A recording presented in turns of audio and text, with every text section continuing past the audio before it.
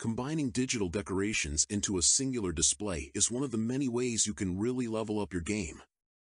In a previous tutorial, we mapped some singing pumpkin faces to a physical location within Resolve's Fusion page. Today, we will add another decoration into the background of that display by layering video effects together. Let's get started. Here we are on the edit page with our mapped pumpkins project.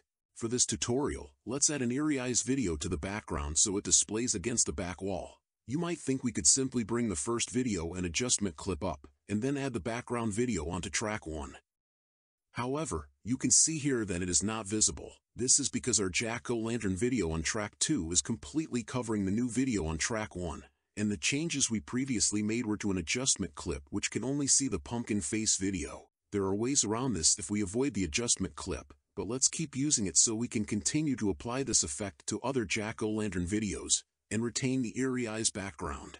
Open the adjustment clip in Fusion by right-clicking on it and selecting Open in Fusion page. When mapping pumpkin faces in the previous tutorial, our node layout was structured from left to right. This means anything closest to the media out node is layered on top of any other nodes before it. While we could add the Eerie Eyes video closer to the left side of the line to make it a background, I prefer to use an approach that I like to call the fusion tree. Begin building the tree by disconnecting everything from the media out node. Bring down a background node, which will act as our tree roots. Then connect it to the media out node. We now have a tree trunk, which everything will ultimately get connected to. For now we will leave the background node as plain black.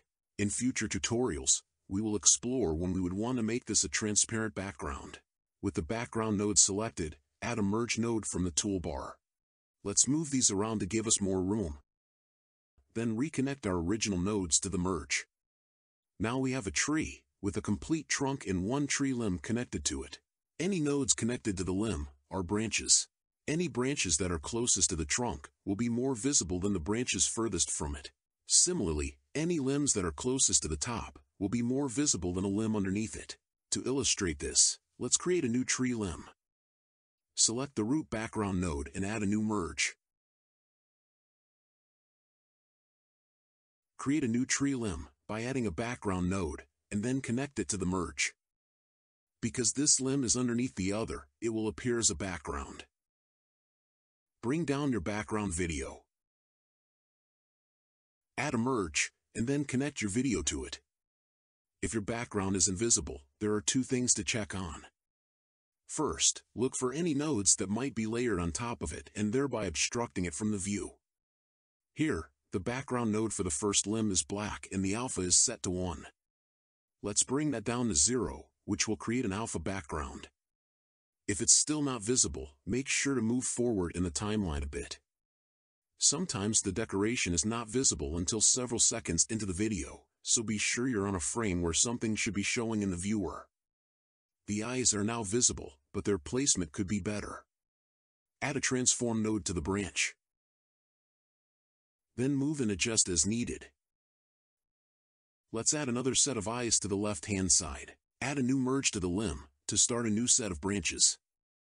Copy the previous media and transform nodes with the Ctrl plus C keyboard shortcut, then paste them with the Ctrl plus V shortcut. Make any adjustments as needed to add additional eyes, without cutting something halfway off. Let's add one more set of eyes to cover that middle section a bit better. To add a little variability to the background, select any of the media nodes attached to this branch. Open the inspector and locate the hold first frame property. Enter the number of frames you would like this video to wait before it begins to play. This will appear to add some randomness to the background. This looks good, but let's make a slight adjustment in the positioning. Add a transform node to the limb. This will allow us to collectively move all of the branches behind the transform node. For this, let's just make a minor adjustment in the positioning. Since we intend to use this adjustment clip to apply these effects to other Jack-O-Lantern videos, we need to make sure they continuously play. Select each media node for the Eerie Eyes, and then in the inspector, make sure the loop checkbox is checked. Now we are all set up for this background to be applied to other videos if desired. Back on the edit page, add any additional Jack-O-Lantern Jamboree videos to the timeline. Extend the adjustment clip to cover each video. Since the timeline has now been extended, we do have one final step. Reopen the adjustment clip in Fusion. Select each media node that is part of the background. In the inspector, extend the global in and out control all the way to the end.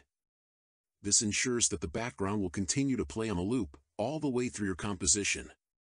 Let's see how this came out.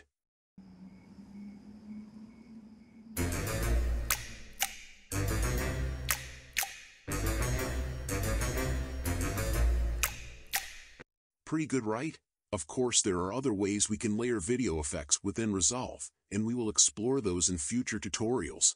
In the meantime, I wish you a lot of success on your project, and be sure to subscribe to this channel for future Resolve tutorials.